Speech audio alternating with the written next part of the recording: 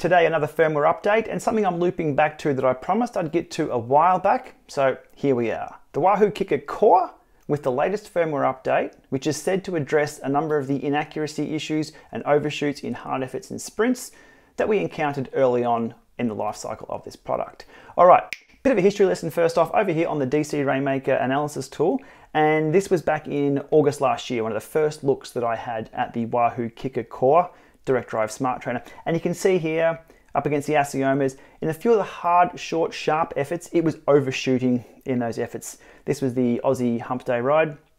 And when the bunch accelerated, I accelerated, and the Kickr core accelerated a little bit further than what it should have. So you can see an overread here, a little bit here, a little bit here, and it was party time in the sprint, with the power there being 120 watts over what I was doing. Now the Assiomas were reporting correct or reliably accurate, I guess you'd call it. And the Kickr core was overshooting. So they're the initial power numbers that I was seeing and the responsiveness from the Kickr core with the original firmware a few months ago now. Since then, there's been 104, 106, 108, and as of two weeks ago, 1.0.10 firmware is out for the Kickr core. So grab your phones, Android or iOS, do your updates, and here's likely what you'll see. So diving into a ride here, this is steady state for, what have we got, 20 minutes warming up. So there's a lot going on here, lots of overs and unders. 157 watts versus 157 watts, no complaints.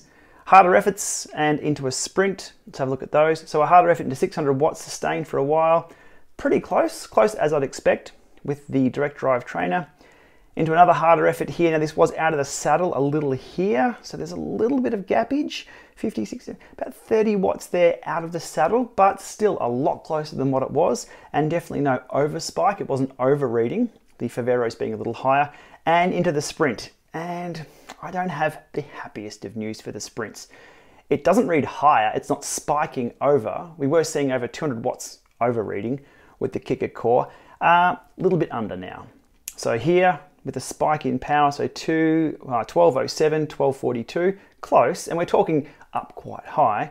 And then following along that, we've got 1167, 1235. So what are we looking at there? Around 65 or so watts difference. But the key there is the Kickr core isn't overreading, so it's not going to have that tagline of, yeah, good in Zwift sprints. Um, it's reading a little under the Favero Assiomas, which have proven to be pretty good. And finally, the other data set that I've collected this week was a hard effort for eight minutes up the Watopia volcano. So jumping into the data there, again up against the Assioma Duos, and we're looking at uh, 324 watts versus 325 watts. So again, accuracy for steady state sim mode, that's all looking brilliant. And then into a short, sharp sprint, again, just reading a little under. Uh, let me dive in here a little closer. Okay, once the power meters agree to start reading the sprint, we're looking at around, what are we looking at? Probably about 90 watts difference here. We're looking at around, I'm gonna have to do this on the fly, 50, 60, 80 watts or so sustained. So the Kickr core reading a little under at around 1100 watts.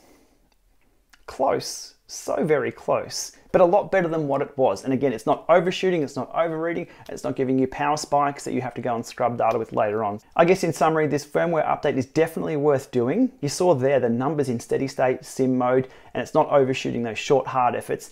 It's not overshooting in the sprints, but it's underreading just a little, just a little. And if you're really concerned about that level of detail, you're gonna have a power meter on the bike anyway.